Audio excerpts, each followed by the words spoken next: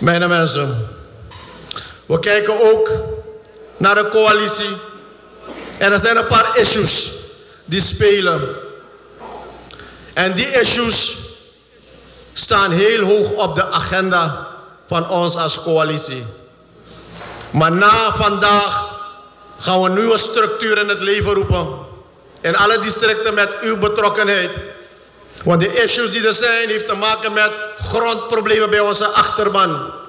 De issues die er zijn, zijn die gezondheidsproblemen als basokaarten die spelen bij onze achterban. En dat zijn issues die in de verschillende districten spelen. En we gaan per district en een resort een team van ministers zetten, DNA-leden en die structuren. En we gaan het volk uitnodigen met alle problemen en alle stukken. En die gaan ze brengen voor de president. En samen met de ministers gaan we al deze problemen oplossen. Want nu is het genoeg dat onze achterban constant, en ik krijg die apps, constant van het kastje naar de muur gestuurd worden.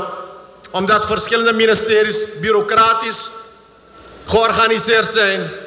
En soms politieke willekeur, politieke willekeur tentoonstellen wat wij niet nodig hebben in deze coalitie.